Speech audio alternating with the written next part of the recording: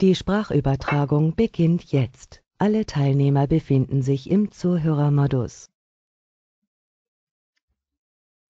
Einen schönen guten Tag, meine sehr verehrten Damen und Herren. Mein Name ist Lisa Hassenzahl und ich darf Sie sehr herzlich begrüßen zu unserem heutigen Webinar. Ähm, ich hoffe, Sie können mich alle gut hören und entsprechend auch die Präsentation sehen. Ähm, und ich beginne jetzt in ein paar Sekunden, sofern ich hier sehe, dass alle Teilnehmer eingewählt sind. Ähm, ich bin gerade hier noch dabei, ein bisschen zu beobachten, weil wir noch einige Teilnehmer haben, die aktuell nicht eingewählt sind. Das heißt, so etwa eine halbe Minute würde ich äh, noch abwarten ähm, und dann werden wir umgehend entsprechend beginnen.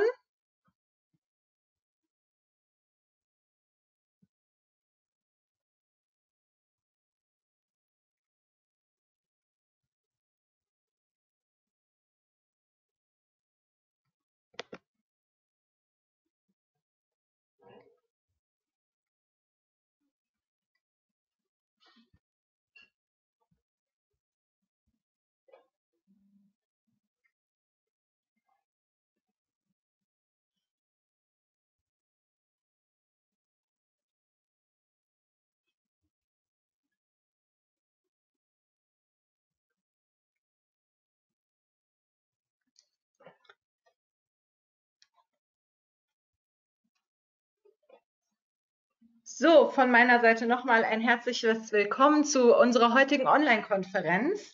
Heute geht es um das Thema Kontoguthaben, Bankenstabilität, Inflation und Handlungsalternativen. So haben wir den Titel für die heutige Online-Konferenz gewählt. Ähm, wir sind ja inzwischen äh, schon fast ein, ein routiniertes Team, äh, immer noch haben wir ein bisschen Thematik mit der Bildschirmübertragung, aber der Christoph Leichtweiß und ich, wir werden das heute wieder in gemeinsamer äh, Art und Weise durchführen, das Webinar. Ähm, ja, wie gesagt, nochmal an alle, die sich jetzt noch eingewählt haben, herzlich willkommen zu unserem heutigen, äh, unserer heutigen Online-Konferenz zum Thema Kontoguthaben und alle damit verbundenen Aspekte, die wir auf Sicht der nächsten Jahr 30 bis 45 Minuten schätzungsweise behandeln werden. Und ich möchte an dieser Stelle auch direkt beginnen, ähm, an alle, die schon eingewählt waren. Lisa, also, vielleicht kannst du mal kurz checken, deine Tonqualität kommt bei mir relativ schlecht rüber. Okay. Also es klingt ein bisschen abgehakt. Ich weiß nicht, vielleicht kann auch mal jemand von den Teilnehmern in der Chat-Funktion ein kurzes Feedback geben, aber bei mir kommt es ein bisschen zerhackt an und ist nicht wirklich optimal. Okay. Soll ja in diesen Zeiten so sein, in denen viele im Homeoffice arbeiten und die Bandbreiten etwas stärker belastet sind. Das ist wohl richtig. Ich schaue jetzt gerade einmal ganz kurz hier nach. Ansonsten mache ich auch einfach mal meine Übertragung aus. Das war schon vor der Webcam. Ich glaube, es liegt an, äh, ich glaube, es ist besser, wenn man sich vom Handy einwählt dann jetzt. Und nicht über die Audiofunktion der Software. Ich, höre, ich sehe hier überall, ich höre Frau Hassenzahl sehr gut. Da bin okay. ich ja beruhigt. Also dann äh, würde ich sagen, geht es weiter vor. Ansonsten vielleicht noch mal ganz kurz die Frage, kann Bildschirmübertragung, das passt alles, man kann alles entsprechend äh, sehen, weil das ist tatsächlich heute ja vielleicht wirklich ein Thema, wenn wir hier jetzt das Problem haben, dass die Tonübertragung auch schon nicht ganz gut war. Aber ähm, solange es keine anderweitigen Beschwerden gibt, würde ich sagen, wir fangen einfach an. Aber bitte geben Sie gerne den Hinweis, weil wir haben natürlich tatsächlich das Thema, dass hier äh, im Haus auch noch andere Leute das Internet nutzen und wir tatsächlich einfach hier ein bisschen auf Bandbreite achten müssen. Also gerne, wenn Sie den Eindruck haben, dass da was verzerrt ist, bitte kurzer Hinweis. So, das heißt also nochmal von meiner Seite der Hinweis auch auf die anderen Webinare und Online-Konferenzen, die wir noch geplant haben. Ähm, Sie alle erhalten ja im Nachgang zu der heutigen Online-Konferenz die Videoaufzeichnung, ähm, die unter anderem auch oder diese E-Mail enthält dann eben auch die Links zu den anderen Webinaren. Da haben Sie die Möglichkeit, sich anzumelden. Ähm, es sind zum einen immer unsere Freitags-Online-Konferenzen mit dem aktuellen Marktgeschehen ähm, und noch zwei weitere Themenkonferenzen, die uns aktuell erwarten. Einmal zum Thema Immobilien und einmal zum Thema, weil das vielfacher Wunsch war, Gold am kommenden Montag. So, jetzt steigen wir aber auf jeden Fall ein. Heute zum Thema Kontoguthaben, Bankenstabilität, Einlagensicherung Inflation, das sind mal so die Schlagworte, die uns äh, auf Sicht der nächsten Minuten begleiten werden.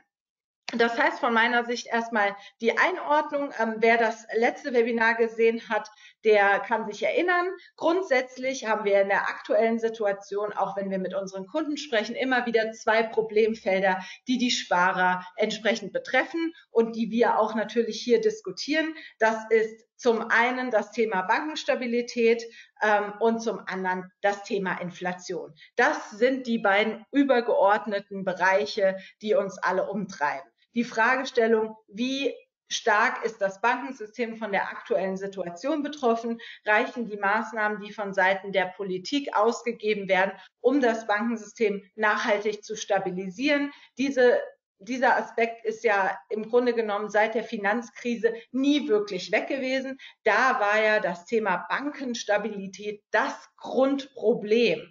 Also das galt es im Zuge der Finanzkrise in den Griff zu bekommen, war seitdem nie wirklich verschwunden. Das zeigte sich auch immer wieder in den Gesprächen mit unseren Kunden, wenn es um die Frage geht, gegen Einlagensicherung, welche Bank soll ich wählen, wie soll ich das alles gestalten und ist natürlich jetzt wieder verstärkt auf den Plan gerufen, weil man sich die Frage stellt, wie ähm, relevant ist das Thema. Und das andere, ähm, der andere Themenbereich, der natürlich auch im Rahmen der Finanzkrise aufkam und dann auch immer weiter fortgetragen wurde, aber nie so richtig zum Tragen kam, das muss man ja rückblickend ganz klar sagen, ist das Thema Inflation, also reale Geldentwertung nicht unbedingt die Problematik, dass Notenbankbilanzen aufge ausgeweitet werden, also die ursprüngliche Bedeutung des Begriffs Inflation, sondern tatsächlich wirklich dann auch weiterführend die, ähm, den Aspekt, dass Geld eben wirklich an Kaufkraft verliert.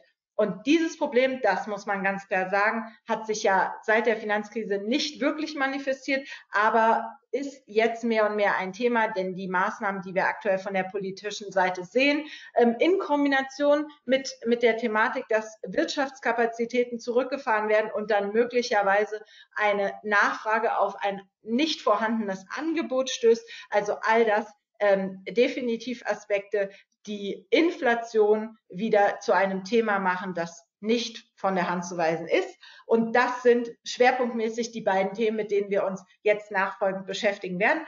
Einsteigen möchten wir ganz klar mit dem Thema Bankenstabilität. Äh, wer ganz genau hinguckt, der sieht auch, dass das eine Grafik aus 2008 ist, also aus der Finanzkrise, aber dennoch immer noch ganz genauso aktuell. Allerdings sieht man an der Unterschrift Domino Day an der Wall Street, ähm, das ist eine Grafik aus 2008, denn wenn wir es jetzt auf unsere Situation beziehen, dann müsste da vielleicht eher stehen Domino Day am Euro Geld- und Rentenmarkt. Aber warum das so ist, dazu kommen wir jetzt.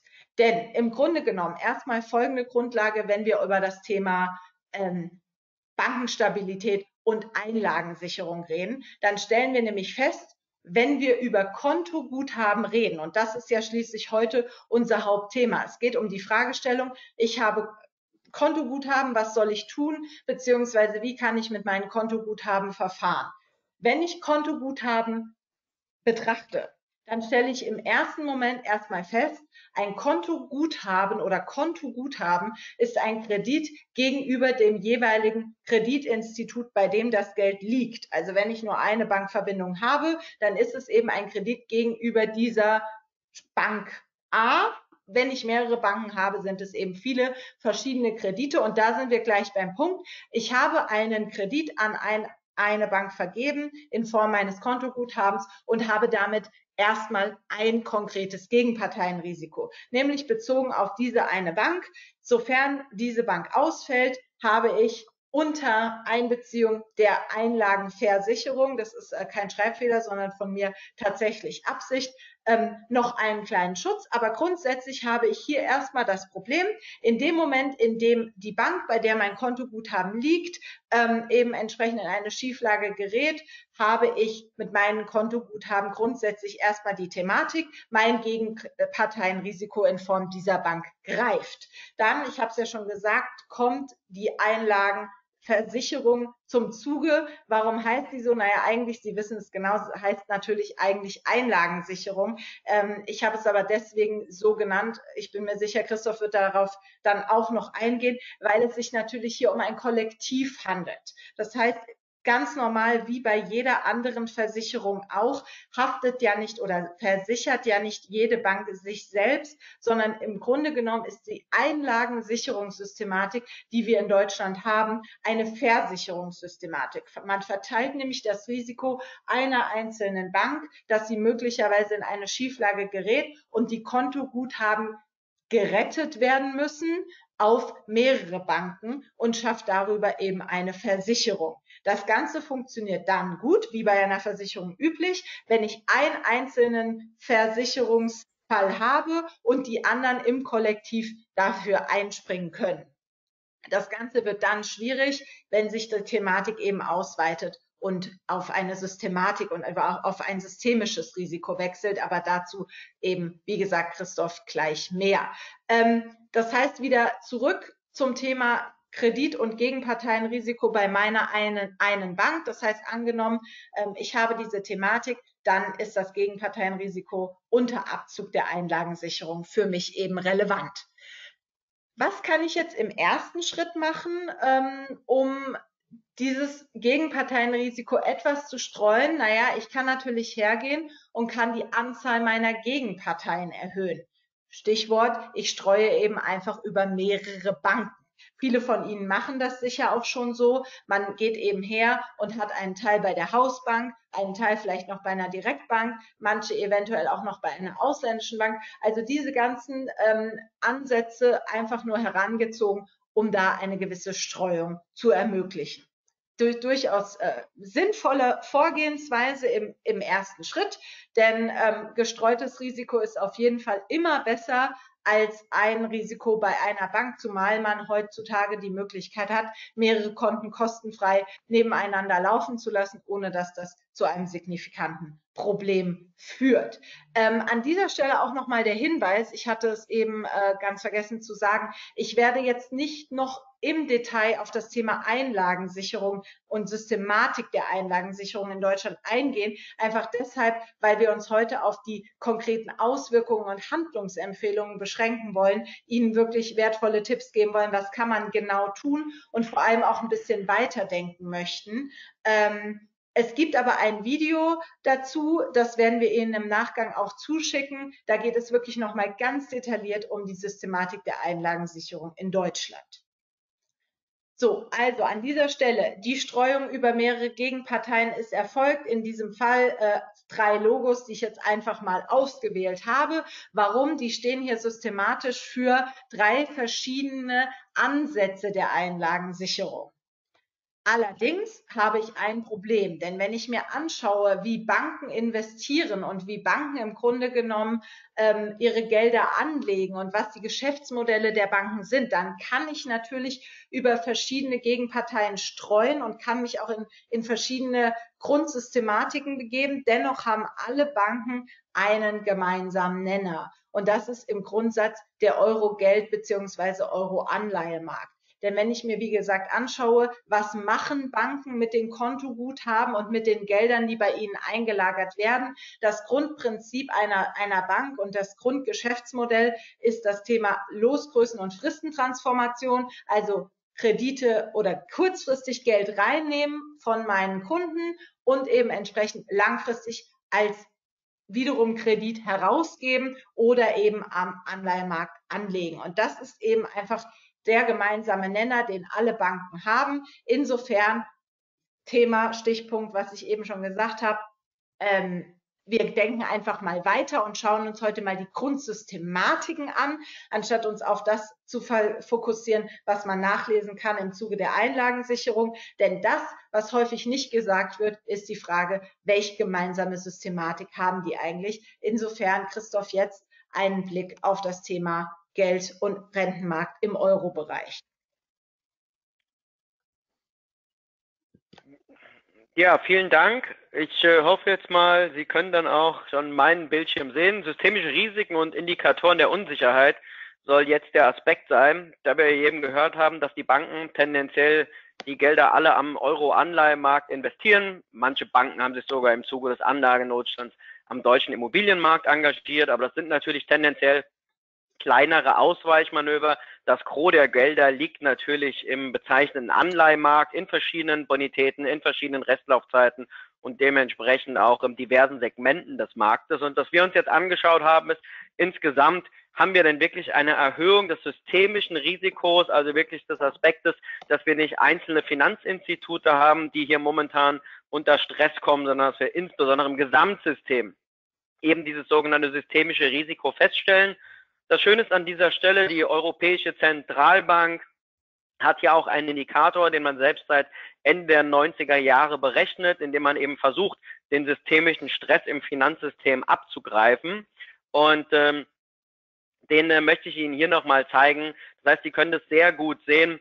Dieser Indikator, der hat sehr schön ausgeschlagen im Rahmen dann ähm, der Hypotheken- und Finanzkrise in diesen massiven Anstieg hier nach oben. Das Ganze hat sich dann wieder entsprechend beruhigt. In den USA blieb es auch ruhig, aber in der Eurozone kam das Ganze mit der Griechenland-Krise, mit der Staatsschuldenkrise und auch der Thematik, ob der Euro in der jetzigen Konstellation das nächste Quartal noch erlebt, wieder zurück.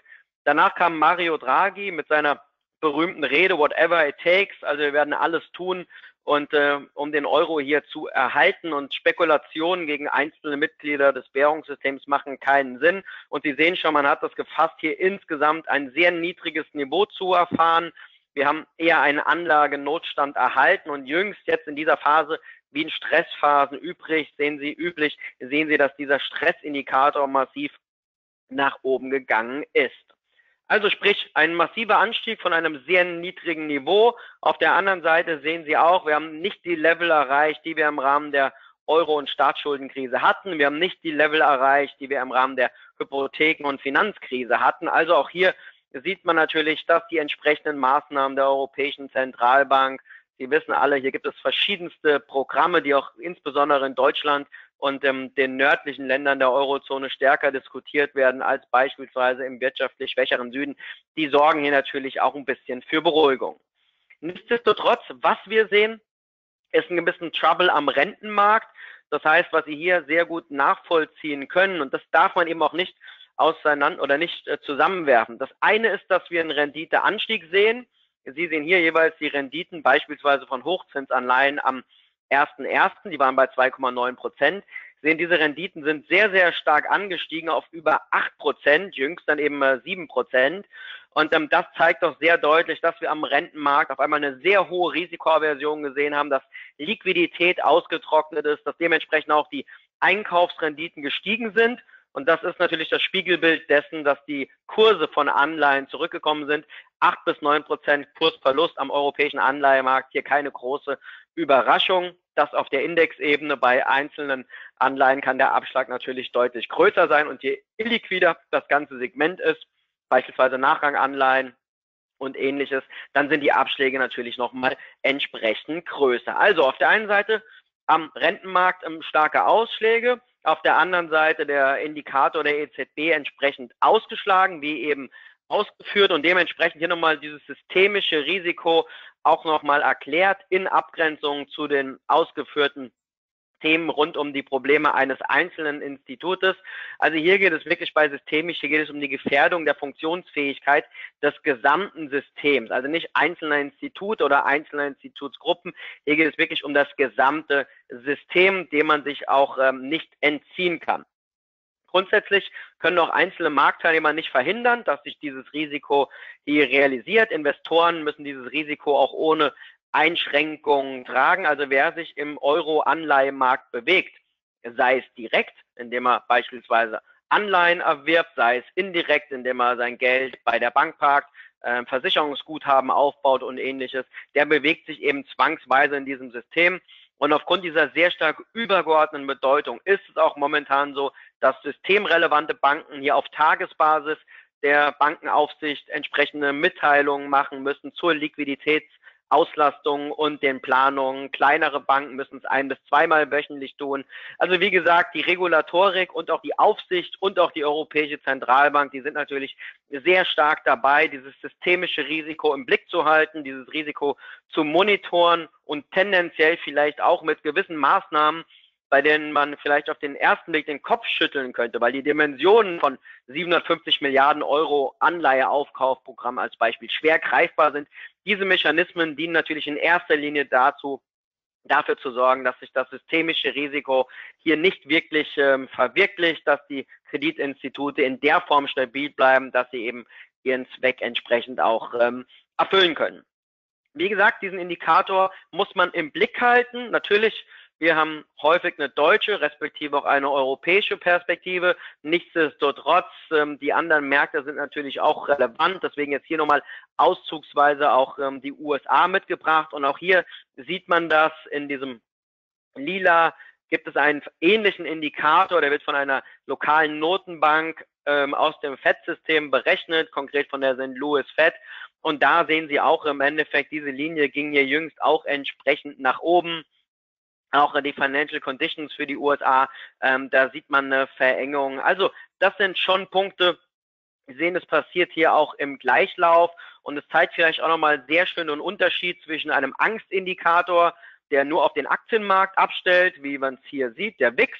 In Deutschland kennen wir das für den VDAX, also das ist ein Volatilitäts-, ein Angstindikator für den Aktienmarkt und ähm, dann eben diesem Thema systemischen Stress. Und oft sehen wir, dass einfach nur die Volatilität am Aktienmarkt ähm, steigt und der systemische Stress ändert sich gar nicht. In der jetzigen Situation, auch aufgrund der erwarteten wirtschaftlichen Verwerfungen, die wir ja momentan alle in den Medien entsprechend nachvollziehen können, was die Erwartungen betrifft, sieht man hier auch einen deutlichen Anstieg der systemischen Risiken, zumindest letztendlich auch den Indikatoren, die in diese systemischen Risiken betrachtet werden. Wenn es um das Thema Stabilität geht oder auch das Risiko, dass Banken nicht alle ihre Verpflichtungen erfüllen können, dann trifft das Anleger natürlich unterschiedlich stark. Ein Aktionär einer Bank ist typischerweise stärker betroffen als ein Anleihegläubiger einer Bank und ganz am Ende der Haftungskaskade stehen dann die einlagengeschützten Konten mit äh, bis zu 100.000 Euro. Also dieses System, diese Haftungskaskaden sind hier ein wichtiger Punkt. Nichtsdestotrotz auch für Personen, die einfach nur Einlagen bei Banken halten. Natürlich interessant zu sehen, wie am Markt die Fähigkeit von Banken eingeschätzt wird, ihren Verpflichtungen nachzukommen. Und hier gibt es ähnlich wie Sie es aus anderen Lebenssachverhalten auch können, eben Ausfallversicherungen, konkret hier Kreditausfallversicherungen und das Ganze hier mal mitgebracht in Orange für das Bankensystem der Europäischen Union, in Blau das Ganze dargestellt, entsprechend auch ähm, für die USA, also dementsprechend auch jeweils währungskongruent. Und da können Sie das auch schon sehr gut sehen, dass wir eben insbesondere im Rahmen der Euro- und ähm, Staatsschuldenkrise war, hatten wir eine ordentliche Differenz zwischen ähm, dem Euro und dem Dollarsystem. Das Ganze natürlich im Euro mit deutlich mehr Relevanz, aber jetzt hier jüngst, das können Sie sehr schön sehen, dieser parallele Anstieg in äh, beiden Systemen, der auch jetzt schon wieder jüngst ein bisschen auch zurückkommt. Aber nichtsdestotrotz, ähm, das natürlich interessant. Wir reden ja aktuell über ein globales Phänomen, weil die Wirtschaft in China ist genauso betroffen wie die Wirtschaft in Deutschland, in USA, in Australien. Also alle stehen ja unter diesem Corona-Schock und der Unsicherheit, inwieweit die Konjunkturmaßnahmen der Regierung plus die Aktivitäten der Notenbanken ausreichend sind, um eben diesen gewünschten gewünschten Lockdown, diese gewünschte Schockstarre, die man auch als stabile Seitenlage bezeichnen kann, eben hier entsprechend zu kompensieren. Im Zwischenphase dann dieser Stelle dementsprechend die Renditen am Bereich der festverzinslichen Wertpapiere. Die sind jüngst konkret angestiegen. Für die Spezialisten unter Ihnen müssen wir natürlich explizit von einem Anstieg der Kreditrisikoprämien sprechen. Also das ein Thema, die Risikoaversion, die Illiquidität, die sich hier am Rentenmarkt zeigt. Die Geschwindigkeit, die ist wie üblich bei solchen Krisen und Verunsicherungen, die ist sehr heftig und wie meistens auch sehr unerwartet. Insgesamt aber unsere Meinung, dass diese Entwicklung nicht von der Geschwindigkeit, aber von der grundsätzlichen Thematik momentan durchaus auch mal gesund ist, weil man doch bis Mitte Februar feststellen musste, dass viele Investoren in einem unreflektierten Anlagenotstand waren. Man war bereit, quasi jegliches Risiko mit sehr niedrigen Renditen zu akzeptieren. Das hat sich nun auf einen Schlag ins Gegenteil gewandelt. Von daher raus aus diesem extremen Anlagenotstand, der zu blauäugig war, jetzt in diese starke Risikoaversion. Und von daher die Stimmen, die jetzt sehr stark dafür trommeln, dass man jetzt unbedingt Hochzinsanleihen kaufen sollte, weil es wäre alles ach so günstig, da sind wir nicht. Ähm, wir stellen in vielen Fällen fast, das sind Verwalter, Fondsmanager und ähnliches, die waren vor der Korrektur viel zu sorglos, haben eigentlich zu viel Risiko genommen. Und wenn sie mit zu viel Risiko in eine solche Risikosituation reinlaufen, dann haben sie natürlich eine unglückliche Wertentwicklung. Und was haben sie da für Möglichkeiten, außer jetzt natürlich das Ganze zu positiv darzustellen? Grundsätzlich aber, wer sich nicht in diesen Anlagenotstand hat hineindrängen lassen, was wir nicht getan haben. Wir haben keine Hochzinsanleihen gekauft, wir haben keine Nachranganleihen von Banken gekauft und ähnliches. Für die Person ist es natürlich durchaus momentan interessant, sich äh, selektiv und antizyklisch hier in Schritten, auch das ein wichtiges Thema, in diesen Segmenten zu engagieren, weil wir sehen, dass mit diesem allgemeinen Ausverkauf auch Anleihen von Unternehmen mit guter Bonität, mit guten Geschäftsmodellen, ähm, die sind in diesem Abverkauf mit nach unten geprügelt worden. Und da kann man durchaus momentan selektive Engagements hier eingehen und bekommt dann aus unserer Perspektive durchaus ein ganz interessantes Chance-Risiko-Verhältnis. Also das ist das Thema Rentenmarkt. Wenn Sie so wollen, ganz klassische Anlageperspektive. Dann das systemische Risiko. Hier sehen wir eben den Anstieg, wie eben dargestellt. Aber auch das muss man momentan ganz klar sagen, weil immer in solchen Stresssituationen poppen ja die Crash-Propheten, die seit 15, 20 Jahren davon erzählen, dass das Bankensystem vor die Wand fährt. In den USA haben sie dann noch eine viel längere Historie, haben sie manche Kommentatoren, die haben vor 30 Jahren das erste Buch darüber geschrieben, dass der Schuldenstand der USA nicht nachhaltig sein wird und dass die einzige Möglichkeit eine Währungsreform sein kann. Die Leute sind jetzt natürlich wieder immer wieder dabei, wenn wir solche Entwicklungen haben, aber aus unserer Perspektive momentan muss man ganz klar sagen, auf aktueller Basis und das scheinen auch die Indikatoren natürlich der Europäischen Zentralbank, die durchaus äh, sehr sinnvolle Input-Parameter haben, zu bestätigen. Momentan sind diese Horrorszenarien von massenhaften Bankenpleiten, die sind ähm, deutlich überzogen. Warum? Wir haben keinen schwarzen Schwan, etwas, was niemand vorhersehen konnte, sondern wir haben ein Virus. Wir hatten die Ausprägung, hat man in vielen Fällen unterschätzt. Aber die Gegenmaßnahmen, die jetzt da sind, die sorgen natürlich dafür, dass das System insgesamt stabilisiert wird und da Geld am Ende des Tages keine Rolle spielt wie wir an den Notenbankbilanzen sehen. Halten wir es momentan für überzogen, hier jetzt von massenhaften Bankenpleiten auszugehen. Also von daher das aus unserer Perspektive momentan sachlich noch nicht zu begründen.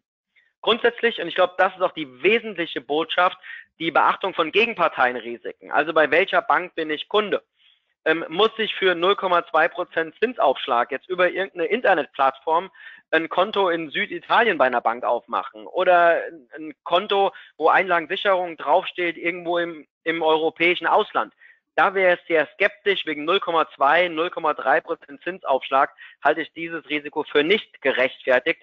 Erinnern sich einfach mal dran, wie es den isländischen Banken ergangen ist im Rahmen der Finanzkrise. Also von daher hier nicht bitte in den Anlagenotstand auf die Zinsfixierung in ungünstige Risiken reinbringen lassen. Also die Beachtung von Gegenparteien und systemischen Risiken laufender Prozess und nicht nur auf Basis von Schlagzeilen, also in Krisen. Ich habe Ihnen hier mal ja auch mal drei Charts gezeigt, die wir uns anschauen. Wir haben ein eigenes Chart-Package, ähm, so nenne ich das.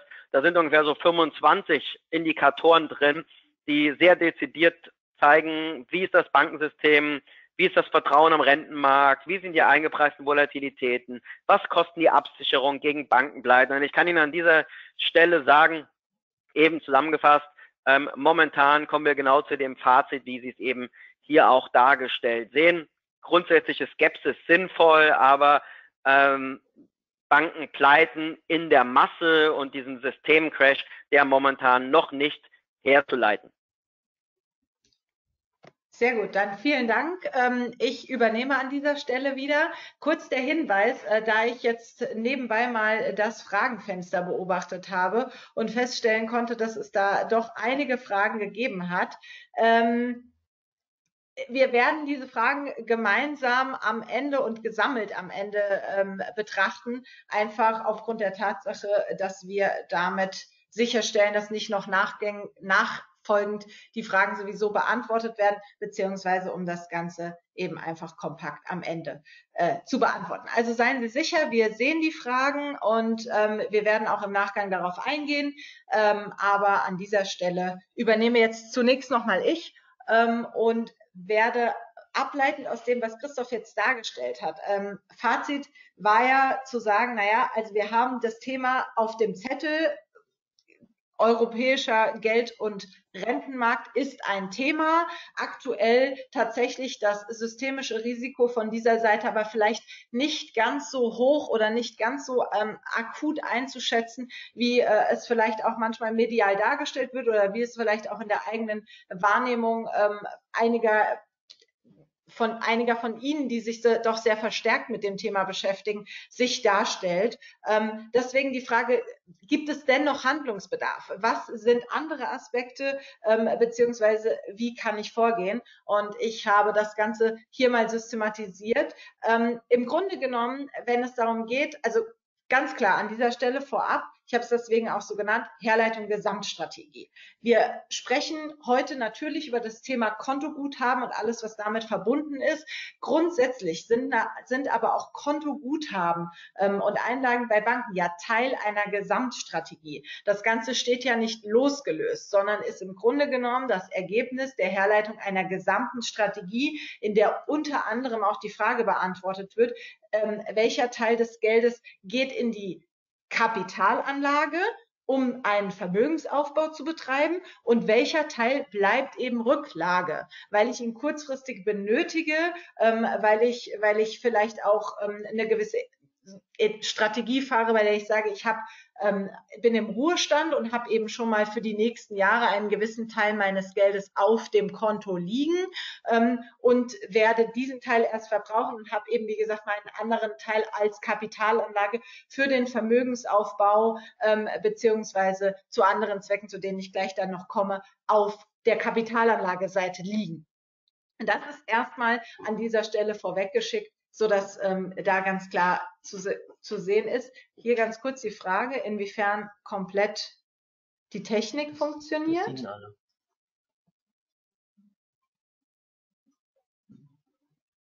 Okay. Okay, ganz kurz der Hinweis hier zum Thema Technik. So, ich hoffe, jetzt funktioniert das Ganze wieder besser. Vielen Dank für den Hinweis. Ich habe gerade gehört, Sie haben die ganze Zeit hier nur halbe Sicht. Ähm, so, also das heißt, auch erstmal das Thema vorab weggeschickt, weil das ist ein ganz wichtiger Aspekt. Nicht, dass das hier äh, den Anschein erweckt, das sei irgendwie eine losgelöste Komponente, ist es natürlich nicht, sondern es geht hier ganz klar auch um die Abstimmung zwischen Rücklage und Kapitalanlage, um hier eine ausgewogene Strategie ähm, eben entsprechend zu entwickeln. Ganz kurz, da das ja heute eigentlich nicht das Hauptthema ist, ähm, Kapitalanlage. Interessanterweise reden wir da natürlich über ganz andere Themen, wie beispielsweise Schwankungsrisiken etc., aber nicht über die Bankensystematik, die Einlagensicherung. Warum? Weil wir befinden uns hier im Bereich der Wertpapiere. Typischerweise erfolgt die Kapitalanlage im Bereich von Wertpapieren. Und damit bewegen wir uns aus dieser ganzen Systematik ähm, Einlagensicherung, Banken, Systematik und systematisches Risiko heraus. Denn Wertpapiere sind definitionsgemäß ein sogenanntes Sondervermögen, sind also nicht Teil der Bankbilanz beziehungsweise der Insolvenzmasse im Falle einer, eines, eines, einer Bankenkrise oder eines, einer Instabilität meiner jeweiligen Bank. Das mal vorab eine ganz wichtige Feststellung. Mit Wertpapieren bin ich grundsätzlich aus dieser ganzen Thematik, also zumindest aus dieser Thematik ähm, in, in Form von Einlagensicherung, ist das Geld noch da, wenn meiner Bank was passiert? Komplett raus. Denn wie gesagt, Wertpapiere sind ein sogenanntes, ja, den Begriff können Sie, können sich gerne notieren bzw. einbringen, ein sogenanntes Sondervermögen und damit nicht Teil der Insolvenzmasse. Insofern ist für die Kapitalanlage. Typischerweise dieser ganze Themenkomplex nicht relevant. Dafür gibt es hier natürlich zahlreiche andere Aspekte. Diejenigen unter Ihnen, ähm, die von uns als Kunden betreut werden, kennen das sowieso. Die Herleitung einer entsprechenden Kapitalanlagestrategie, die eben wichtige Parameter berücksichtigt, wie beispielsweise Risikobereitschaft, wie sieht meine aktuelle Vermögensstruktur aus, ähm, welche Kapitalanlagen benötige ich, beziehungsweise welche Vermögensklassen benötige ich, ähm, auch vor dem Hintergrund, welches Anlageziel verfolge ich und welchen Anlagehorizont habe ich. Also das Ganze ist, ist ein, ein, ein in sich geschlossener Prozess und nicht, nicht, nichtsdestotrotz wie gesagt, es ist ein, eine komplette Gesamtstrategie und die Thematik Vermögensstrukturanalyse beinhaltet im Grunde genommen wieder die Rücklage. Aber was ich an dieser Stelle einfach nochmal klar machen möchte, Wertpapiere sind von dieser ganzen Themen von diesem ganzen Themenkomplex eben entsprechend ausgenommen. Ähm, und hier beschäftigen wir uns mit anderen Aspekten. Ähm, wie gesagt, unsere Kunden kennen das hier geht es wirklich um die Herleitung einer nachvollziehbaren Strategie, um Schwankungsrisiken entsprechend besser aushalten zu können, langfristig diszipliniert die Strategie verfolgen zu können, ähm, etc. und hier Klumpenrisiken zu vermindern. So, wenn wir uns jetzt auf die Rücklagenseite hinüberbegeben, wie gesagt, kurzfristige Gelder, die können einfach definitionsgemäß nicht Kapitalanlage sein weil ich habe einfach gewisse Teile meines Vermögens, die müssen mir sehr, sehr schnell und auch in der vollen Höhe auf auf meinem Konto respektive einer zu findenden Alternative zur Verfügung stehen und ich kann damit einfach keine Preisrisiken eingehen. Ich habe es schon vorweggenommen, häufigste Form der Rücklage und typischste Form ist das Thema Kontoguthaben. Da kann ich natürlich auch einiges tun. Ich kann über eine intelligente Auswahl meines Kreditinstituts dafür sorgen, dass ähm, gewisse Risiken ausgeschlossen sind. Also beispielsweise brauche ich für ein, für, bei der Bank, bei der meine Kontoguthaben liegen, nicht zwingend eine Bank, die auch Eigengeschäft oder Groß- und Millionenkredite vergibt, weil das bringt mir als Kontoguthabeninhaber ja erstmal keinen Vorteil. Es bringt mir im Zweifel nur Nachteile. Weil wenn man in die Vergangenheit schaut, dann war, kamen die häufigsten Risiken und Gründe, siehe Finanzkrise, für Bankeninstabilitäten genau aus diesem Thema. Eigengeschäft und, und Kreditgeschäft. Das heißt also, hier kann ich einiges tun. Ich kann mich eben über verschiedene ähm, Banken vielleicht auch streuen. Ähm, aber wenn ich jetzt wirklich sage, unabhängig von dem, was Christoph gerade dargestellt hat, also die, die aktuelle systematische Situation am Euro-Anleihemarkt ist vielleicht auch, wie gesagt, das war ja auch eine Momentaufnahme, aktuell nicht akut, aber es kann ja zum Thema werden. Oder ich habe diese Meinung, dass es zum Thema wird und entscheide deshalb, ich möchte auf jeden Fall aus dieser Systematik raus. Ja, dann muss ich auch da wieder in die Wertpapiere, also ins Sondervermögen. Das ist ganz klar der Fakt. Anders komme ich aus dieser Systematik nicht heraus. Und das wäre auch eine gangbare Lösung. Denn im Grunde genommen, jetzt werden einige von Ihnen sagen, naja, aber sie hat doch gerade gesagt, das geht nicht, weil es gibt Preisrisiken und ich will auf meiner Rücklage keine Preisrisiken. Das ist auch richtig. Aber es gibt hier durchaus Strategien, die wir, Christoph wird das äh, jetzt anführend noch darstellen, auch für unsere Kunden bereits einsetzen, beziehungsweise auch anbieten. Wirklich für diejenigen, die sagen, also für mich ist das ein Thema ich möchte aus dieser gesamten Systematik raus, dann gibt es sehr wohl die Möglichkeit, Wertpapiere einzusetzen, damit im Sondervermögen zu sein und sämtliche Preisrisiken insofern auszuschließen, dass ich im Grunde genommen einfach nur die Zielsetzung erfüllt habe. Ich möchte raus aus der Bankensystematik, rein ins Sondervermögen, aber ich möchte keine Preisrisiken. Also das ist durchaus machbar. Eine Thematik haben wir dann aber trotzdem. Wenn ich sämtliche Preisrisiken ausschließe, dann schließe ich natürlich auch sämtliche Preischancen aus. Heißt auf Deutsch, ich habe im Zweifel auch keinen Inflationsausgleich. Das heißt also, wenn wir uns erinnern an unsere beiden Themen zu Beginn, Bankenstabilität haben wir jetzt hinreichend geklärt, aber das Thema Inflation wirkt dann trotzdem. Ich habe im Zweifel auf dieser auch auf dieser Form der Rücklage keinen Inflationsausgleich. Darüber muss ich mir klar werden. Rücklage kann nie Inflationsausgleich bieten in einem Umfeld, in dem wir uns befinden, was gleichbedeutend ist mit kein Risiko ist keine Renditeerwartung. Das heißt, das ist ein ganz klarer Faktor, was uns dann oder was mich dann wieder zu dem Thema bringt. Es ist eine Gesamtstrategie. Ich muss mir also überlegen, welcher Teil muss Rücklage bleiben. Viel mehr Geld sollte ich auch nicht auf Kontoguthaben oder in der von mir angedeuteten Wertpapierstrategie lassen, sondern alles, was darüber hinausgeht, muss dann in irgendeiner Form in eine Kapitalanlage hinein, wenn ich das Thema Inflation in irgendeiner Weise ausgleichen möchte. So viel an dieser Stelle dazu. Und nun entsprechend ein paar Darstellungen noch zum Thema, welche Strategien gibt es. Ähm, ich würde das jetzt entsprechend wieder zurückgeben. Genau.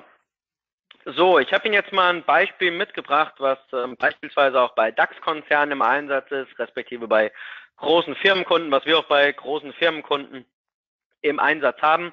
Was Sie hier sehen in dieser orangenen Linie ist eine sogenannte Wertsicherungsstrategie. Das heißt, diese Wertsicherungsstrategie ist typischerweise mit einem Risikobudget verbunden. Im konkreten Fall das Risikobudget sehr eng, also konkret nur zwei Prozent jeweils auf Sicht von zwölf Monaten. Und was Sie jetzt hier sehen, ist eben genau in Orange die Wertentwicklung dieser Wertsicherungsstrategie. In dunkelblau oder in türkisblau sehen Sie die Entwicklung des äh, globalen Aktienmarktes. Und man sieht eben, dass man hier die Möglichkeit hat, mit Wertsicherungsstrategien eben sich aus dem Rücklagenprofil einer Bank herauszulösen. Konkret kann ich Ihnen hier sagen, dass es bei der Wertsicherungsstrategie, die wir hier verwenden, liegt im Endeffekt das nahezu das komplette Kapital in deutschen Bundesanleihen, kurzer Laufzeit, also in Papieren, die immer liquide sind und die so lange wie Deutschland seinen nominellen Verpflichtungen nachkommen wird, was wir bei der aktuellen Staatsverschuldung für ungefährlich halten. Ähm, und ähm, die restliche Partizipation erfolgt über Terminmarktkonstrukte an der Eurex, die quasi auch keine sogenannten Gegenparteienrisiken haben.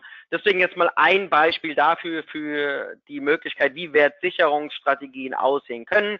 Die kann man auch noch modifizieren. Es gibt auch die Möglichkeit, beispielsweise ähm, Aktien zu erwerben und ähm, die gegensätzliche Position über Terminmarktkonstrukte einzunehmen, um hier, wenn Sie so wollen, eine Kasse zu bauen, die am Ende des Tages eben nicht wirtschaftlich im Cash liegt, sondern eine Kasse, die sich ähm, aus Aktien bemisst. Aber Sie sehen es auch schon an diesem Verlauf ähm, in der kurzfristigen Sicht. Ähm, die Wertsicherung kann natürlich auch positive Entwicklungen nach oben nicht mitmachen und ähm, dementsprechend das Ganze auch nochmal hier auf der Fünfjahresperspektive. Gleiche Strategien, Aktienmarkt global, ähm, in Relation zur Wertsicherungsstrategie und ähm, dementsprechend sehen Sie schon auch, es kommt sehr stark auf den Betrachtungszeitraum an, den man wählt, um den Erfolg einer Strategie zu wählen. Und ähm, dementsprechend, Sie sehen schon hier dieser massive Anstieg auch im Aktienmarkt, den wir gesehen haben in den Jahren dann bis eigentlich Februar diesen Jahres. Den hat natürlich so eine Wertsicherungsstrategie nicht mitgemacht. Umso wichtiger ist es, sich eben klar zu machen, welchen Zweck verfolge ich mit meiner Anlage. Also geht es mir darum, temporär in einer Extremsituation, wie beispielsweise aktuell Preisrisiken zu eliminieren, dann kann ich das über Wertsicherungsstrategien sehr gut tun. Auf der anderen Seite muss ich mir natürlich klar machen, ich habe eben auch den Charakter einer Geldmarktanlage vom Verhalten her. Also positiv gesprochen, ich falle nicht, wenn der Aktienmarkt nach unten geht. Negativ gesprochen, ich steige nicht, wenn der Aktienmarkt nach oben geht. Das heißt auch real gerechnet in Inflation haben wir hier natürlich keinen Inflationsausgleich.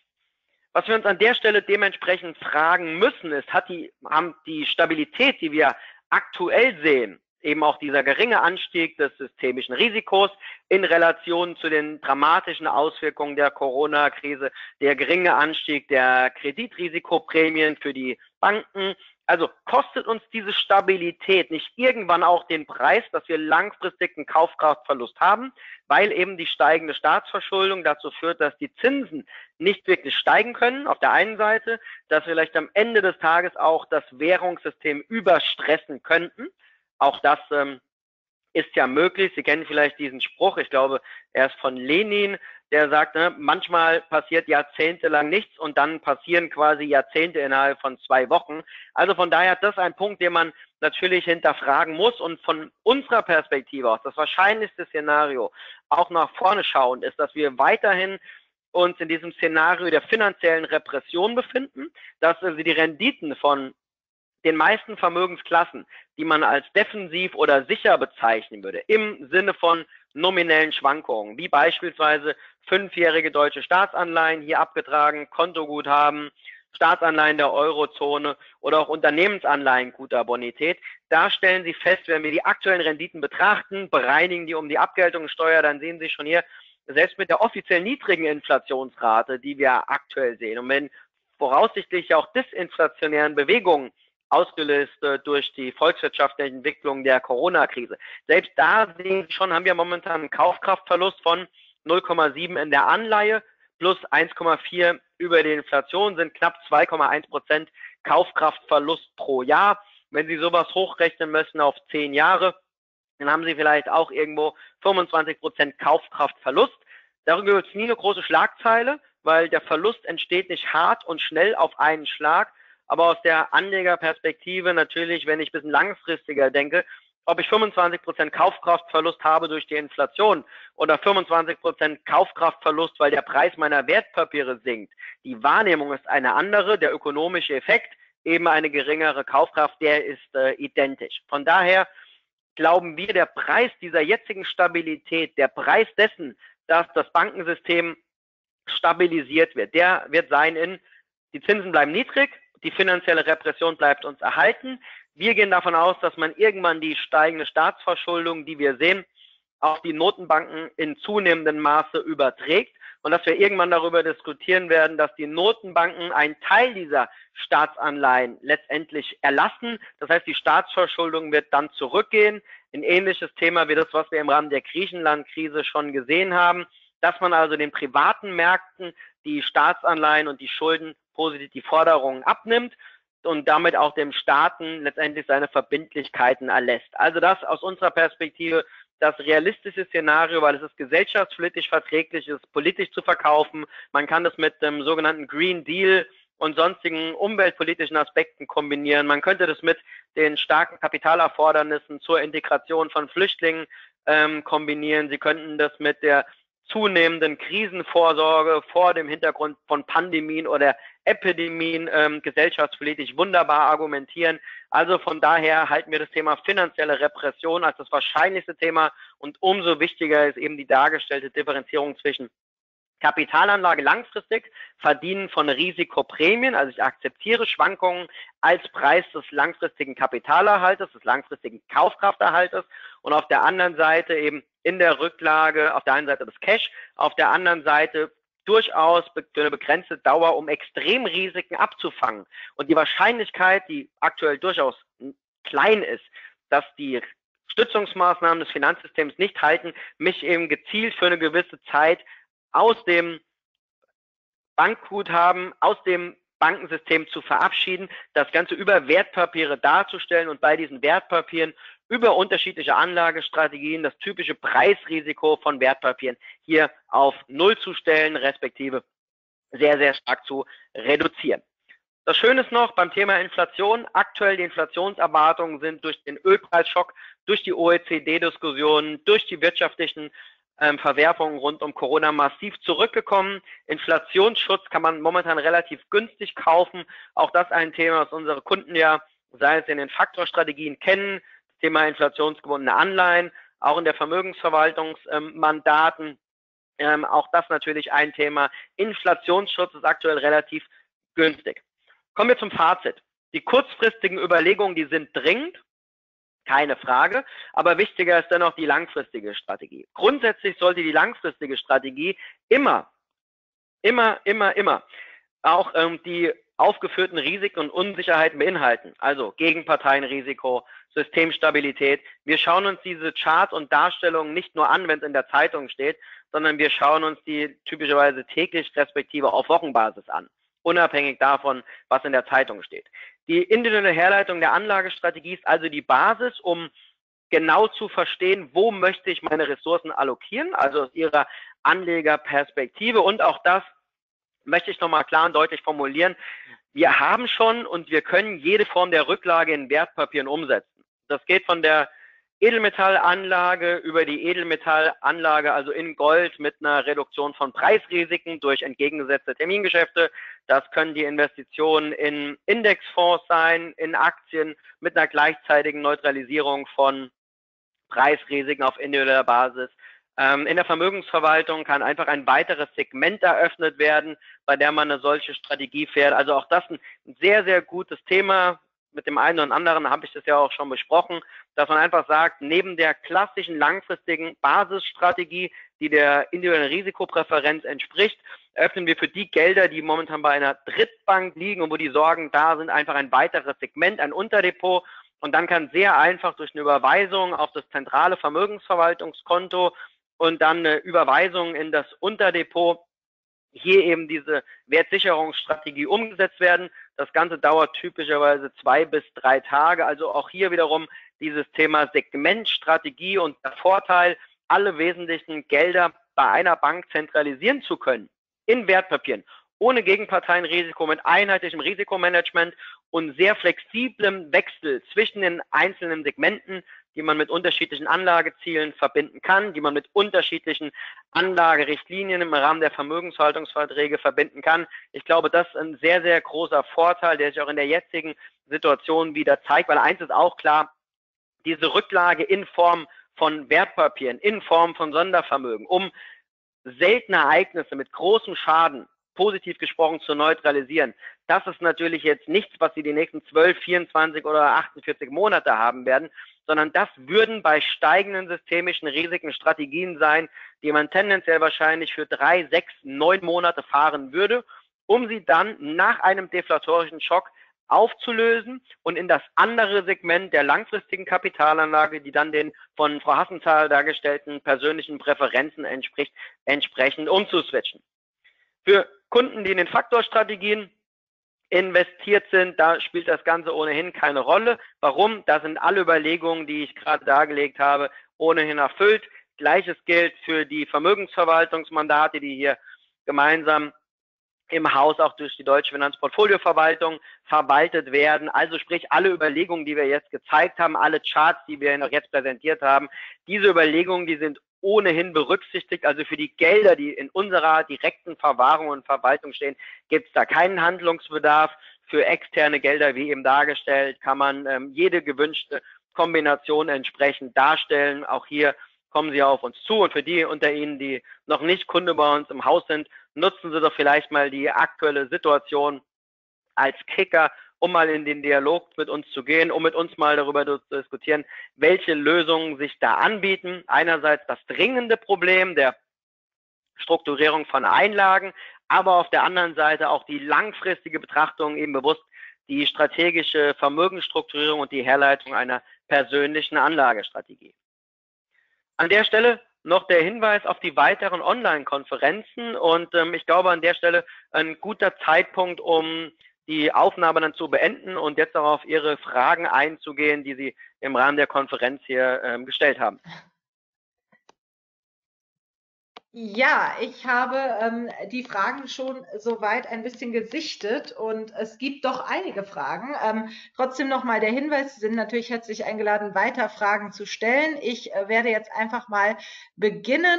Ähm, ich habe einige Fragen auch schon in schriftlicher Form beantwortet. Hintergrund, ähm, da wir so viele Fragen haben, bin ich nicht ganz sicher, ob wir die alle wirklich systematisch beantworten können. Deswegen habe ich die Fragen, die jetzt nicht unbedingt direkt bezogen auf das Thema sind, vorab schon mal schriftlich beantwortet. Sollten da Rückfragen sein und wir schaffen es nicht, das zu beantworten, dann gerne einfach unmittelbar telefonisch.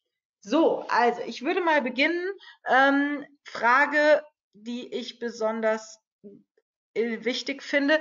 Ähm, wie schaut es mit Lebensversicherung aus? Sind diese sicher? Meine Lebensversicherung ist im Dezember 2023 fällig. Soll ich diese kündigen oder hoffen, dass alles gut geht? Christoph. Also Versicherungen sind ungefähr zu rund 90 Prozent in Anleihen investiert. Also erstmal ein Geldwert. Allerdings ist von diesen Anleihen auch wieder ein entsprechender Prozentsatz in sogenannten Pfandbriefen unterlegt. Das heißt, die sind wiederum auch besichert mit ähm, beispielsweise Forderungen gegen Staaten, respektive natürlich auch ähm, ähm, Grundschulden, wie Sie es alle aus Ihrer Immobilienfinanzierung kennen. Von daher glaube ich, man muss immer die Kennzahlen der Versicherungen rechnen. Man sollte vor allem jetzt auch mal rechnen, inwieweit ein Renditeunterschied zwischen der Beibehaltung bis zur Fälligkeit und der heutigen Kündigung besteht. Früher hat man immer gesagt, man sollte die Versicherung bis zum Ende laufen lassen, um den sogenannten Schlussüberschuss zu generieren. Da dieser Schlussüberschuss in vielen Fällen aufgrund der ja seit doch einigen Jahren anhaltenden Niedrigzinsphase auf nahezu null gesunken ist, hat sich das erübrigt. Von daher muss man sagen, ähnliches gilt ja auch für die Bankguthaben, man soll jetzt nicht in Stress verfallen und jetzt ähm, Kopf, Hals über Kopf hier kündigen, sondern man sollte sich ähm, die Daten anschauen, gucken, wie hoch ist der Anteil meiner Vermögensstruktur und insbesondere auch der Versicherung die richtigen Frage, Fragen stellen, also sprich Differenz der Auszahlung per heute gegenüber der, der Auszahlung zum regulären Vertragsbeginn. Dann kann man aus der Differenz kann man einen kalkulatorischen Zins annehmen und diesen Zins kann man dann wiederum in Relation zum wahrgenommenen Risiko setzen. Dann hat man aus meiner Perspektive eine sehr fundierte Ausgangsbasis.